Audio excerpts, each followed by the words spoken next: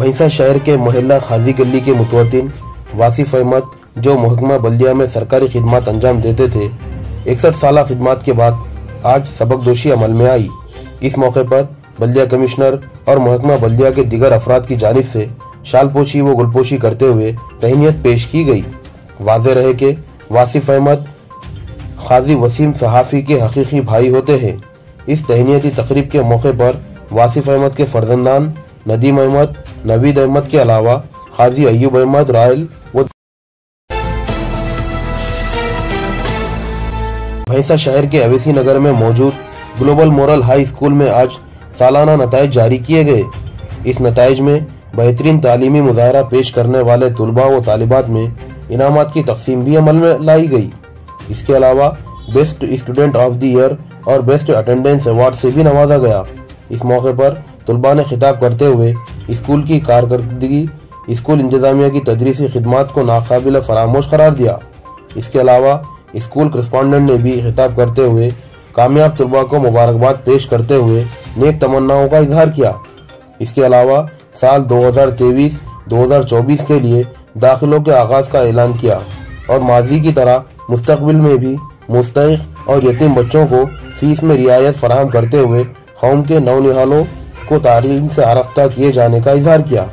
इस मौके पर प्रिंसिपल मोहम्मद इरफान अहमद इस शेख फारूक, अल्लम राजेश्वर, शेख अजहर, मोहम्मद सलीम, खवातीन टीचर बदर उनिसा तबस्सुम, बुशरा बेगम, सादिया बेगम, सुमेरा बेगम, उजमा बेगम, सना बेगम के अलावा मैं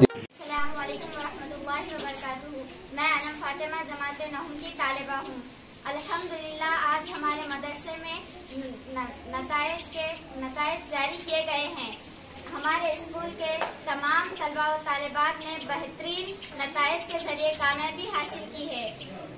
इस तमाम तलबा की कामयाबी के पीछे हम अल्लाह तबारक ताला की मदद, हमारे स्कूल के तमाम इस खसूस respondent Ahad Sahib sir principal Mohammad Irfan sir की मेहनत, लगन, जस्तजू शामिल है।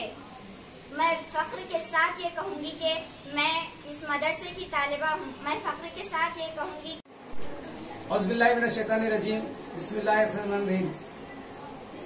ग्लोबल स्कूल जो भैंसा शहर के अवेसी नगर में पिछले छह सालों से तदरीसी खदमात अंजाम दे रहा है। और अल्हम्दुलिल्लाह अवेसी नगर की अवाम की जानब से पिछले छह सालों से मुकम्मल ताउन रहा है जिससे हम कामयाबी की तरफ़ गामजान हैं। मदरसे की खसूसियात है, ग्लोबल मॉरल हाई स्कूल में अमीर, गरीब, छोटे, बड़े के भेदभाव के बिना तालीमी खिदमत से आरास्ता किया जाता है। इसके अलावा पिछले लॉकडाउन के अंदर भी जितने भी तलबा तलबात तालीम तर कर चुके थे, उन तमाम को तालीम से दोबारा आरास्ता किया जाने का भी अहकाम उठाया गया है। हमारे मदरसे में ऐसे तलबा तालिबात जेर तालीम है, जिनकी माशी हालात कमज़ोर है तो वैसे तलबा तालिबात को 25 percent thirty percent fifty percent की रियायत देते हुए उनको हम तालीमी खदमात से आरस्ता करते हैं।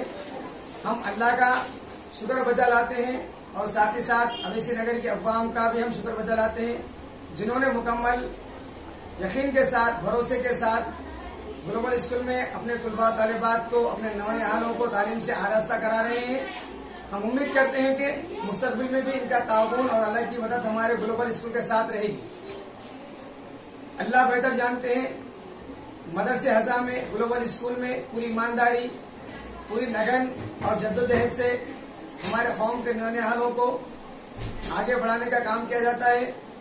हर मैदान के अंदर, चाहे किसी भी मैदान में हो अमीर गरीब के बिना भेदभाव के हम जो है, उनको तमाम एक्टिविटीज़ के अंदर आगे पहुंचाते हैं।